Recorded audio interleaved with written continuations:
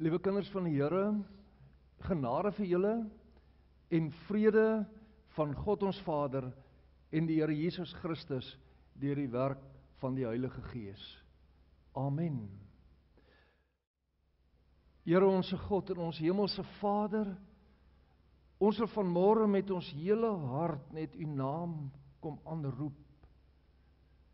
Here, u is die heilige God. U is die een wat op die troon is, Here, en U regeer hierdie hele wêreld. Maar Here Jesus, U is die een wat ons vanmôre met deurboorde hande kom aanraak.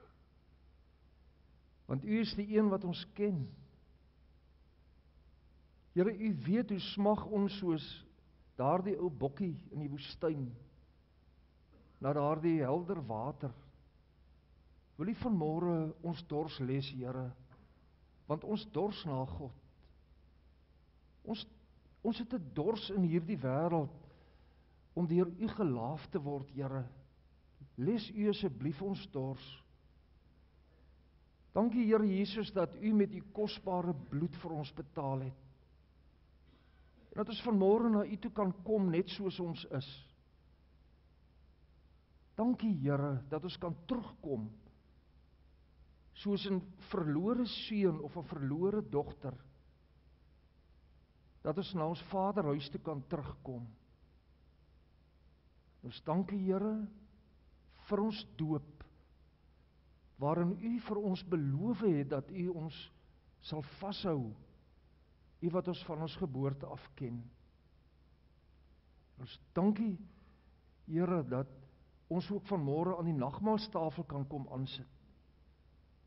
Maar ons nie net u dood herdenk nie, maar waar ons vanmôre opnuut ook ons toevlug tot u kan neem.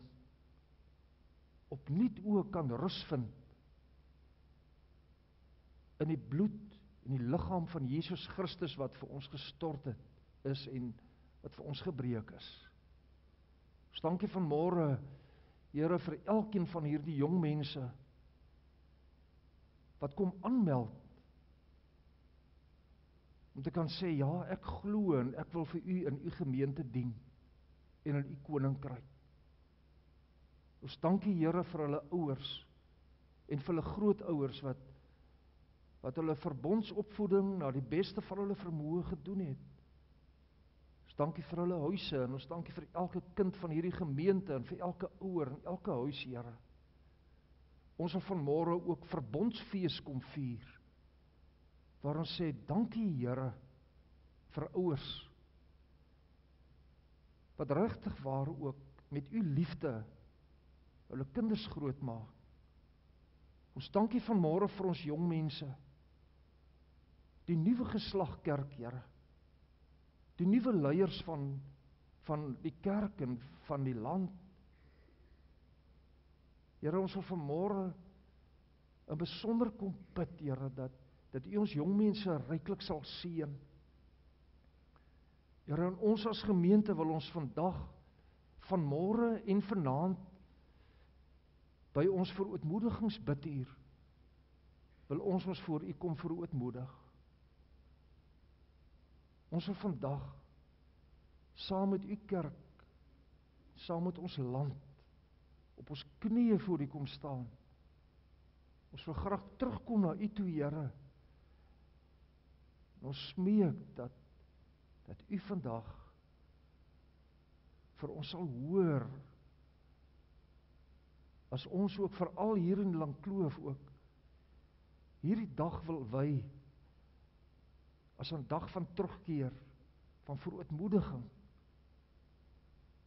Seën ook vanmôre vir ons met u woord en ons bid dit in Jesus Christus naam. Amen Die kerslig is mos simbool van Jesus Christus wat sê hy is die lig vir die wêreld en ons kry ons lig uh, by hom en nou sal julle sien rondom daardie kers is daar nou 6 kersse wat nog nie brand nie. Uh en uh dit gaan aangesteek word deur die ouers van die 6 uh, lidmate wat vanmôre belydenis van geloof kom aflê.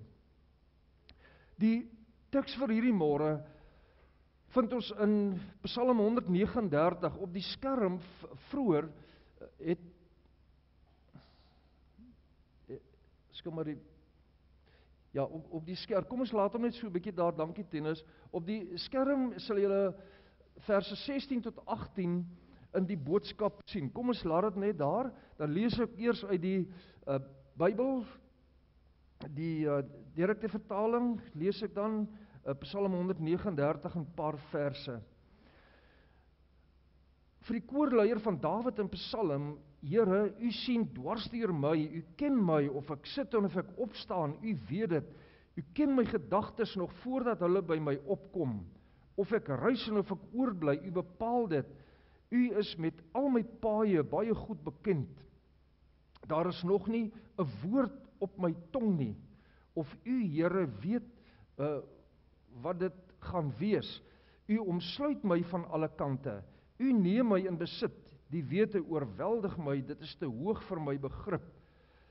Waarheen sou ek gaan om u gees te ontvlug? Waarheen sou ek vlug om u teenwoordigheid te ontkom? Klim ek op na die hemel, is u daar? Gaan lê ek in die doderyk, is u ook daar? Vlieg ek na die ooste of gaan woon ek in die verre weste? Ook daar lê u hand my.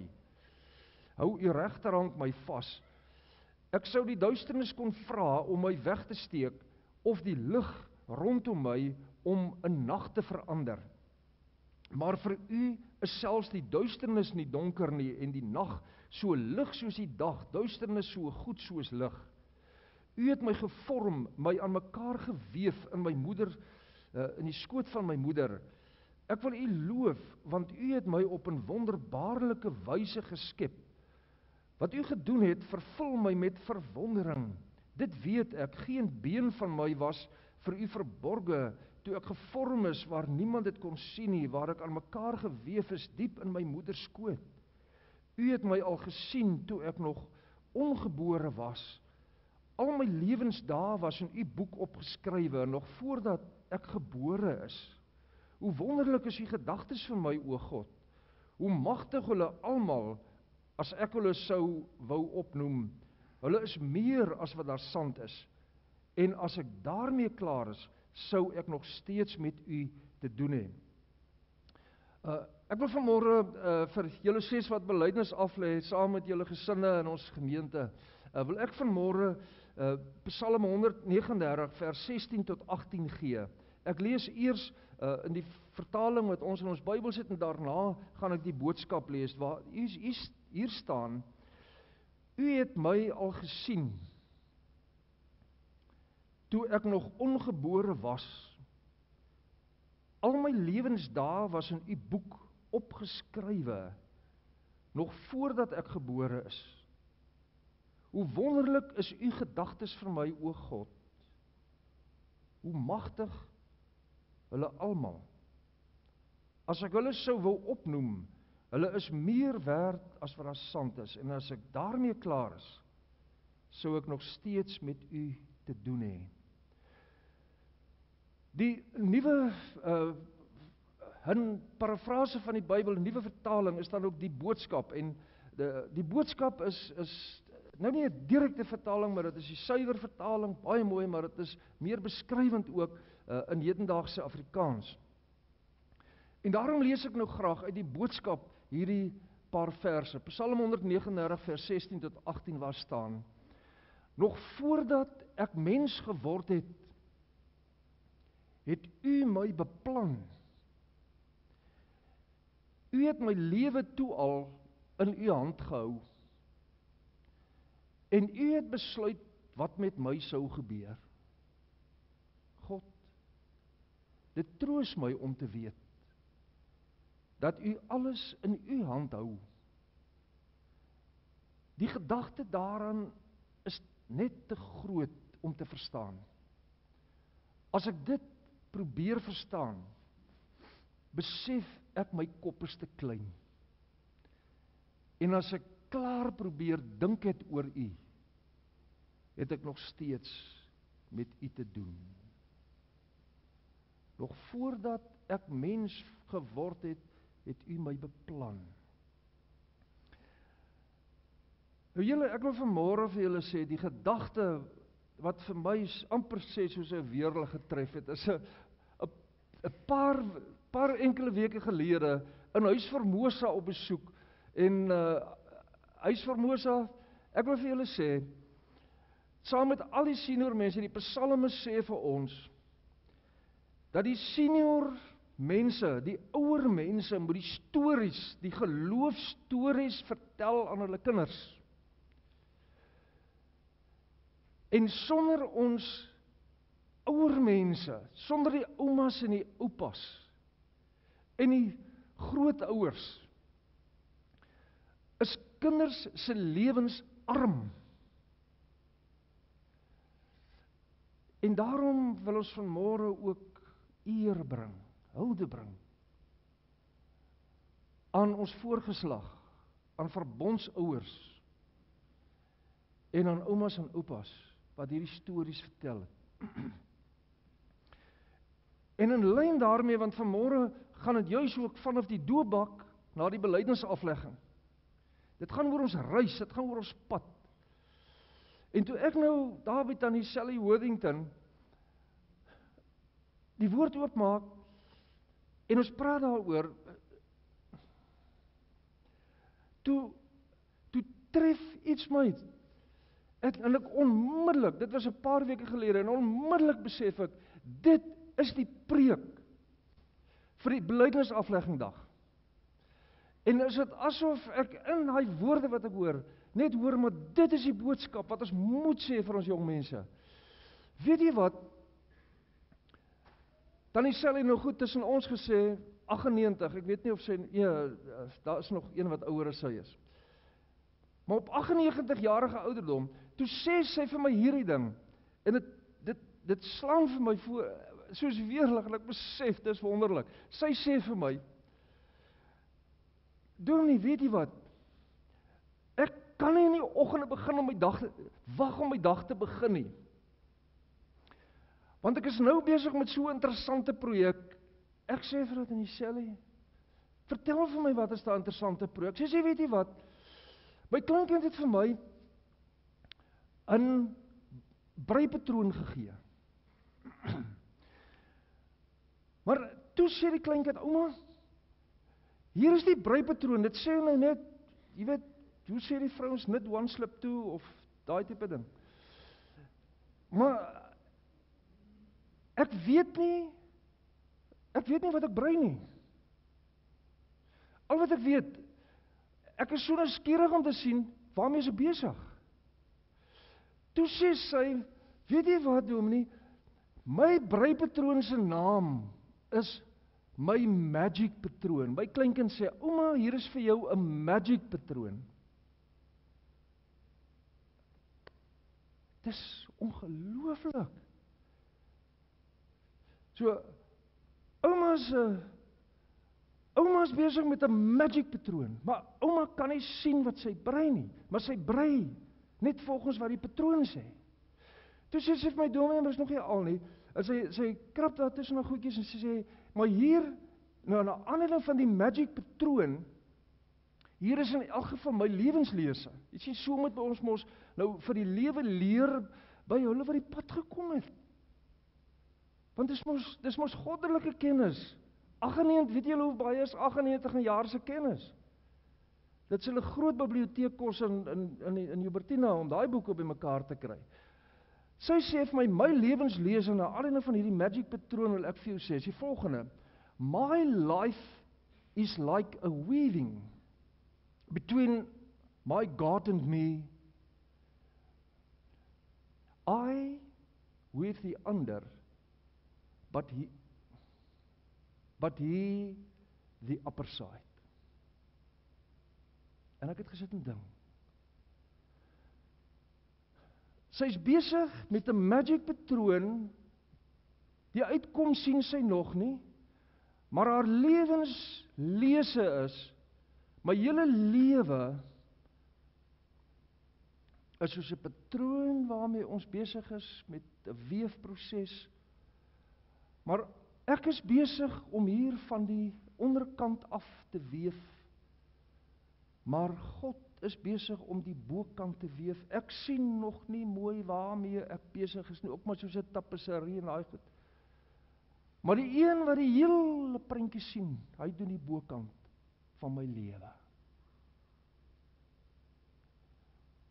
Baie dankie. Skep my afval. Daarom, liewe broers en susters,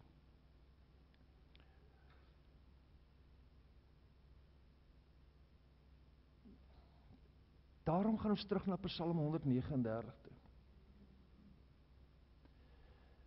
Psalm 139 sê die psalmis: Here, hoe wonderbaar is U. U het my geskep. Ken my van voor my geboorte af en die boodskap sê nog voordat ek mens geword het, het U my beplan. Soos wat elke mens sy eie unieke vingerafdruk het. So is daar nie twee mense op aarde wat dieselfde is nie. God het jou fyn beplan.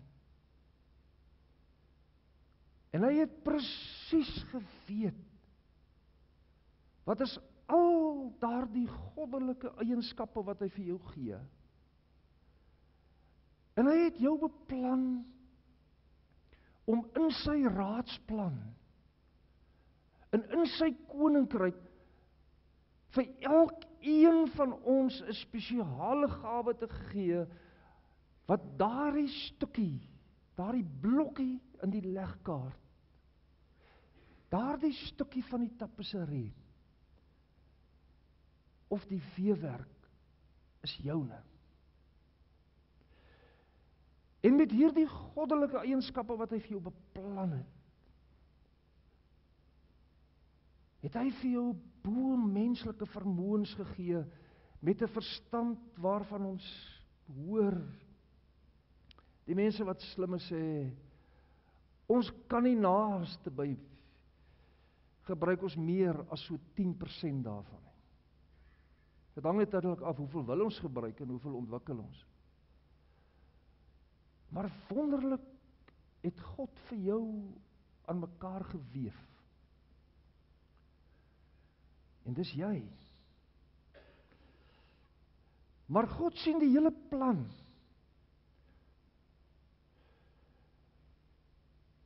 En nou kom hy by die doop en daarom my liewe broers en susters, die diepte van die doop sal ons ook nie kan verstaan nie. Sommiges kom later tot geloof en word groot gedoop. Gelowiges se kindertjies word gedoop hoekom? Omdat God vir hom sê met die woorde van Psalm 139: My kind, dis ek. Nog voordat jy mens geword het, het ek het ek jou beplan soos wat jy moet wees. En wees verseker ek is jou Vader. En wees verseker alles wat Jesus Christus gedoen het is joune en die volheid van die Heilige Gees is hiermee gedoop. My, my liewe broers en susters, ons het nou by die afgelope sinode sitting ook gepraat oor die oor die rol van die Heilige Gees in die doopeling. Ons ons kan nie sê dat daardie klein babatjie nog nie die Heilige Gees het nie. Want ons kan mos nie 2/3 of 'n derde van God ontvang nie. God is mos een. Met ander woorde, God die Heilige Gees is by daai babatjie. En ons die wat nou klein gedoop is in En nou sê mamma en pappa op die vraag Broer, suster, beloof jy dat jy hierdie kindjie van wie jy die ouer is so sal grootmaak dat hierdie kindjie vir God sal leer ken by hom sal uitkom. En dan beloof mamma en pappa ja. Ja, namens my. En nou nou loop mamma en pappa daai pad saam met jou. Maar soos wat jy groter word, in daardie vrae wat mamma en pappa moes geantwoord het, is daar een in wat ons eintlik voel, "Sjoe, ek weet daarom nie so mooi nie." En dan word vir mamma en pappa gevra by daai onskuldige bloetjie, onskuldige bloetjie, tussen hakies. Glo jy dat ons as sondaars in die wêreld kom en slegs deur die bloed van Jesus gered kan word? Ja, maar so 'n bietjie lank daarna en as jy die eerste nag wat pappa moet opstaan dan besef ek dit was tog waar wat hulle gesê het. Kyk hoe gaan dit nou aan. Hoe groter hulle word, hoe meer sien ons die sonde mos. En dan en dan begin hy sonde mos so deurbreek. 'n Gedoopte van God, maar dan begin hy sonde so sterker deurkom. Hoe groter ons raak, hoe meer ons begin in die wêreld in, dan begin hy sonde kom. Maar die woord sê Ek weet wat ek vir jou beplan. God weet ook wat is jou verlossingsplan.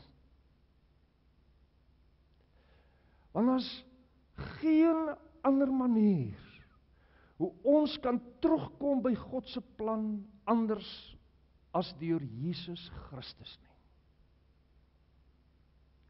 Dit is deel van God se plan.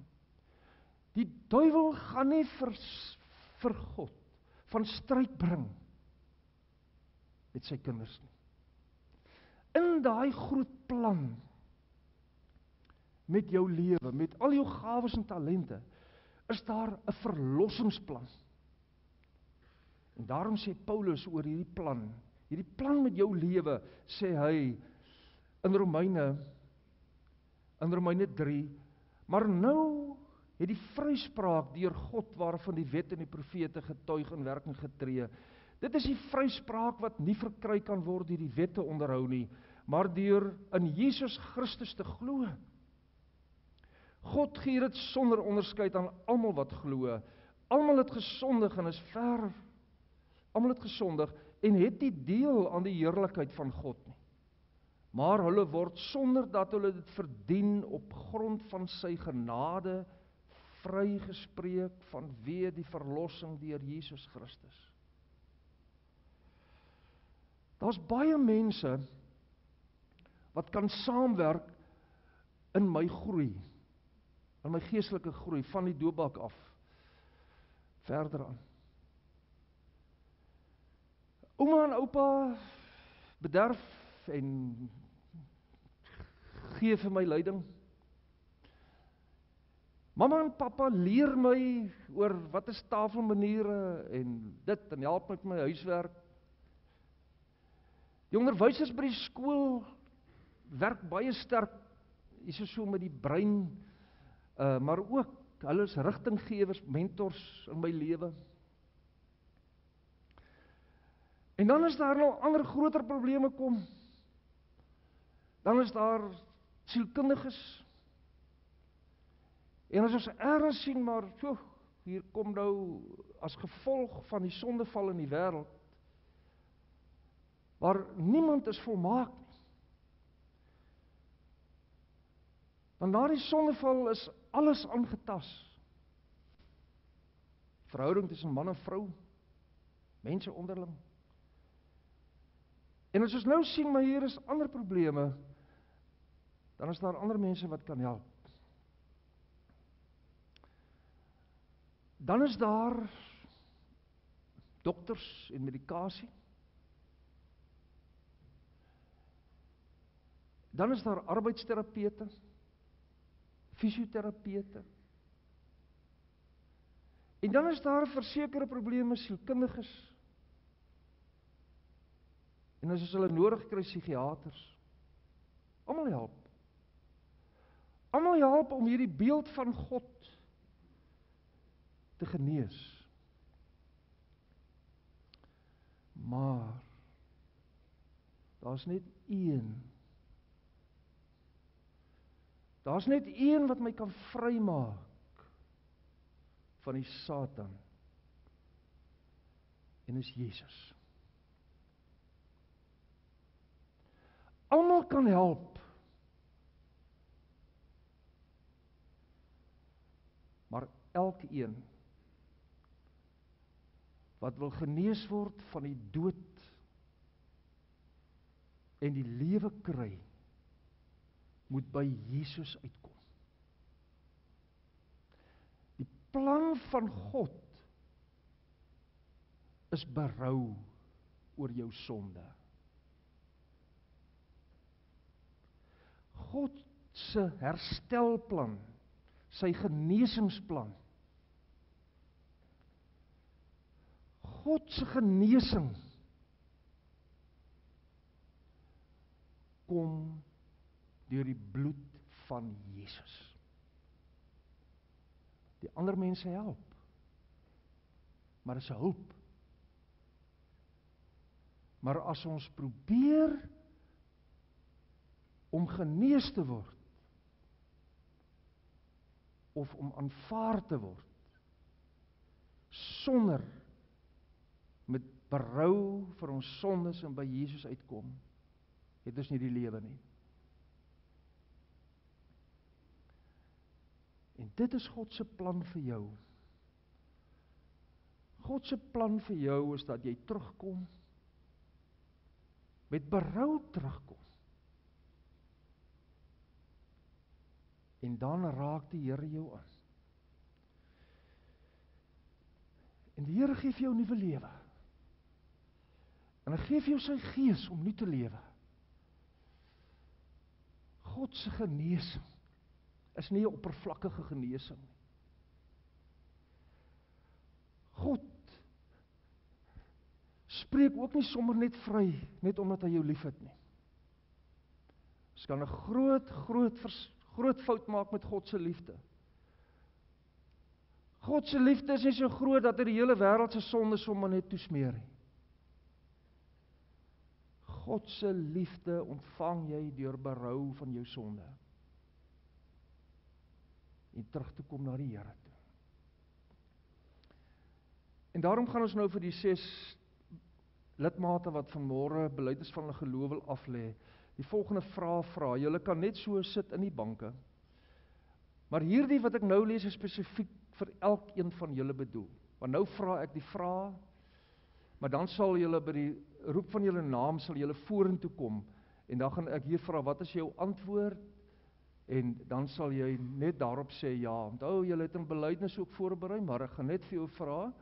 Ehm um, wat is jou antwoord hierop? Maar hulle gaan een-een kom en dan gaan jy net ja sê en daarna sal uh daardie lidmaat ook sê nou dat ek verlos is Nou dat ek gered is, nou het ek hierdie volgende belydenis op my hart. Daarom vra ons die volgende vraag.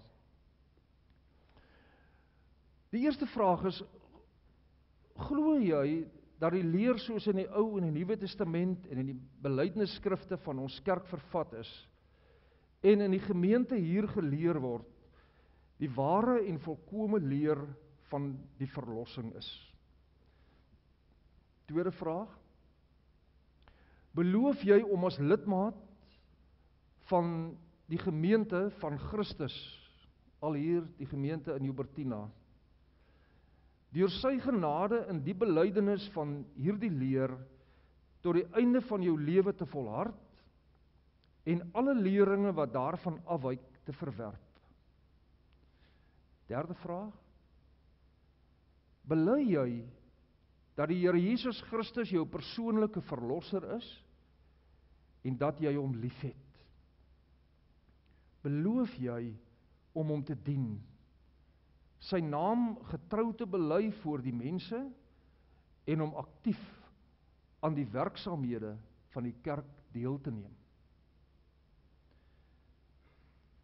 En dan aanvaar jy dat jou medegelowiges die verantwoordelikheid het om jou te help om op die regte pad te bly. En dit geskied dan deur die onderlinge en kerklike tug. Wat is hardop jou antwoord hierop?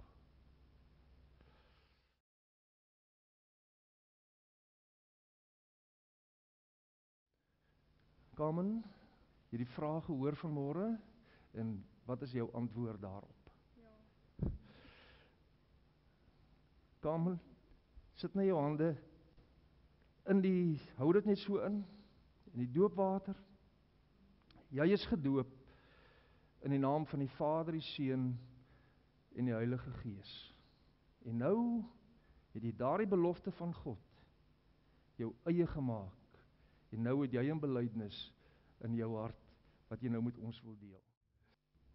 Ek wil net van hierdie geleentheid gebruik maak om te sê wat 'n voorreg dit vir my is om geloof van belydenis af te lê voor die gemeente en die Here. 'n Versie wat vir my baie beteken is Jeremia 29 vers 11. Ek weet wat ek vir julle beplan, sê die Here, voorspoed en nie teenspoed nie. Ek wil vir julle 'n toekoms gee, 'n verwagting. Ek is baie opgewonde oor die nuwe reis saam met Jesus in my lewe.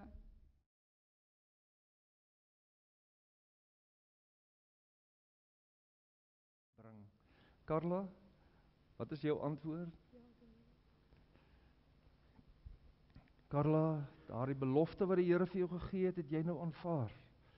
En jy is 'n belydende lidmaat van die gemeente en mag die Here vir jou ryklik seën. En nou Môre gemeente, ek wat jonk is, glo saam met my pa en ma dat God ons hemelse Vader en die Skepper is. Ek glo ook in Jesus Christus, wat die seun van God en ons koning is. Ek glo ons word slegs deur ons verbondenheid met Christus kinders van God. Christus gee ons die toegang tot die Vader. Ek lewe 'n lewe van oorvloed deur die geskenke wat God aan my gee, soos sy liefde, vrede, vreugde, kreatiwiteit, geduld en krag. Dis 'n voorreg om 'n kind van God te wees. Ek het egter dan ook die verantwoordelikheid om God se liefde en goeie nuus oor die wêreld te help versprei. Ek glo ook in die Heilige Gees van God. Hy roep my en ander mense om aan Jesus se gemeente te behoort, waarvan ek graag deel wil wees. Hy help ons om as gemeente vir mekaar om te gee.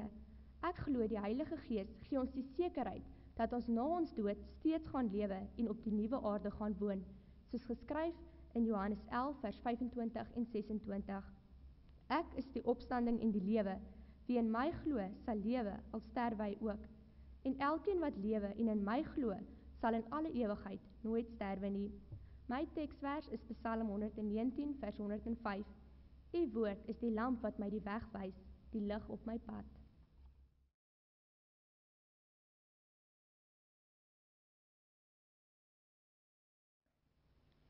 Jy weet, wat is jou antwoord? Kom stap vorentoe en jy weet wonderlik sit jou hande in die doopwater. Wonderlik om te weet dat die belofte wat mamma en pappa afgelê het, dat jy dit aanvaar het en dat jy nou kind van die Here is wat glo en mag die Here vir jou seën ook as lidmaat van Hubertina gemeente en mag hy vir jou ook ryklik gebruik ook in sy diens. Ek glo in die drie enige God en dat Jesus aan die kruis vir my sondes gesterf het. Ek wil meer van God leer ken en nog steeds in my geloof groei. My Bybelvers is Spreuke 3 vers 5. Ver, vertrou volkome op die Here en moenie op jou eie insigte staat maak nie.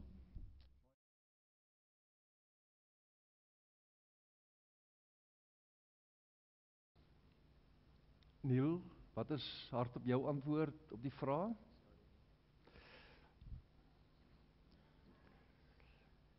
Belofte het jy nou jou eie gemaak en jy's nou 'n lidmaat van die Bertina gemeente en mag die Here vir jou ryklik seën. Goeiemôre gemeente. Ek wil aangeneem word omdat ek glo dat die Here my enigste verlosser is. Ek glo dat dit belangrik is om deel van die gemeenskap van die gelowiges en dat en uh, dat dit deel van die Christelike roeping is om die woord van die Here met ander te deel. Dit is ons almal se Christelike roeping om die woord van die Here te verkondig en so uit te leef sodat dit ook die waarde van my medegelowiges sal wees. Geen ware Christen kan sy geloof ten volle in isolasie uitleef nie en daarom deel ons dit met ons naaste. Die kerk en gemeente is deel van my geloofslewe en vorm 'n integrale deel van my van my Christendom. Ek beskou dit ook as 'n voorreg om deur my medegelowiges aanvaar te word en as deel van die gemeente en die koninkryk van God te word. My gunsteling Bybelvers is Romeine 8 vers 28. Ons weet dat God alles ten goeie laat meewerk vir die wat hom uh, lief is en die wat volgens sy besluit geroep is.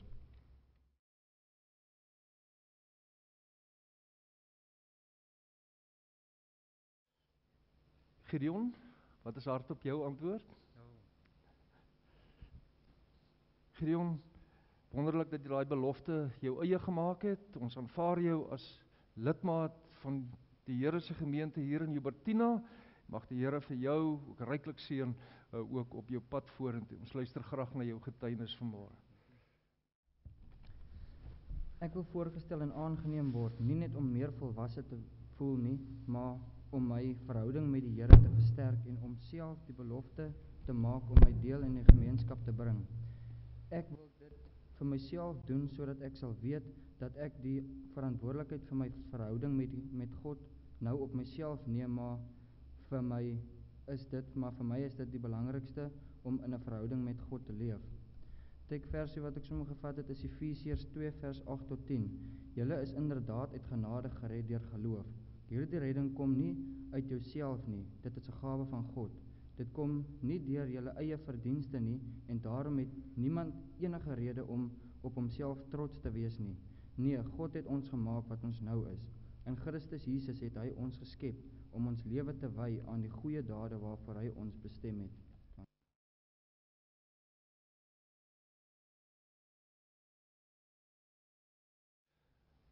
Karin, wat is jou antwoord? Nou kan jy dankie sê vir die Here dat hy die belofte wat hy vir jou gegee het ook aangeneem het en ons aanvaar jou as 'n beleide lidmaat van hierdie gemeente en mag die Here vir jou ook ryklik seën.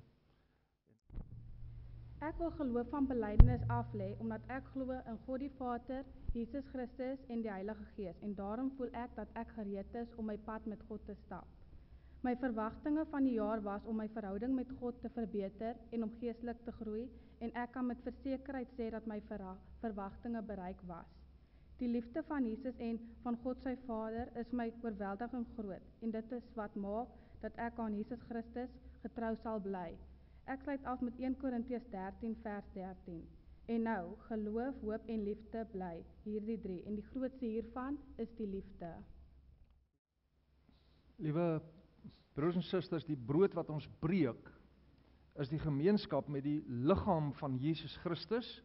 Neem dit en eet dit en dink dan daaraan dat sy kosbare liggaam ook so gebreek is tot volkomme verzoening van al ons sonde.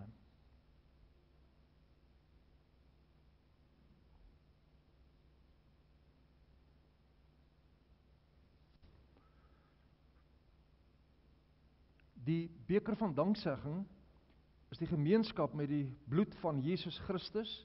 Neem dit nou en drink dit en dink dan daaraan dat sy kosbare bloed ook so vergiet is tot volkomme verzoening vir al ons sonde.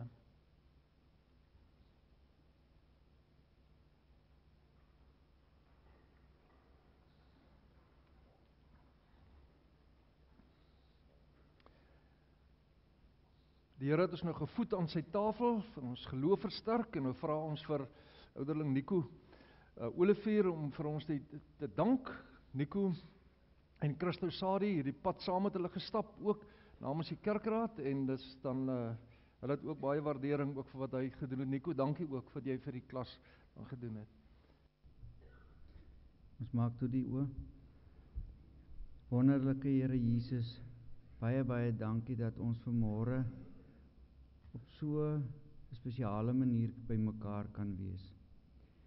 Here baie dankie dat U vir ons nou gevoed het na siel, ons gees en ons liggaam. Here baie dankie dat U vir ons die versekering gee dat as ons ons sonde bely, U dit van ons verwyder. Ons voel so skoon gewaste mense. Here baie dankie vir elke jong mens wat vanmôre gesê het ek wil deel wees van Jesus se liggaam. Ek wil deel wees van hierdie kerk. Here Jesus, wil U help dat hulle sal standvastig bly?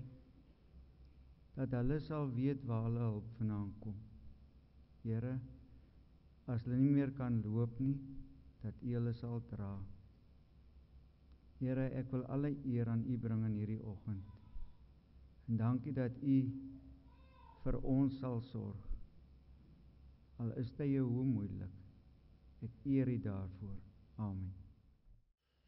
Ontvang nou die seën van die Here en gaan nie met sy vreugde en sy vrede in julle harte. Mag God ons genadig wees en ons seën.